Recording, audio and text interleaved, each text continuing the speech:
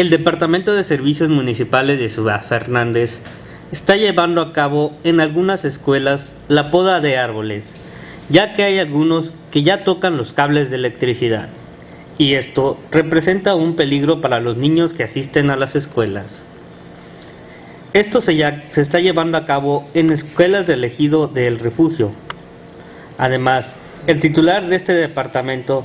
fuera de cámaras, comentó que no solo se están podando árboles en las escuelas, sino que también se están rehabilitando algunas plazas o jardines que existen en este ayuntamiento. Asimismo, nos dijo que los habitantes de este ayuntamiento le tengan un poco de paciencia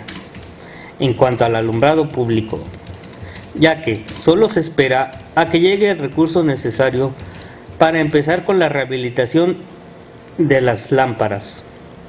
ya que se ha detectado que hay más de mil lámparas tan solo en la cabecera que no funcionan o que no les funciona la fotocelda y esperan que los problemas de alumbrado público queden resueltos a la mayor brevedad posible.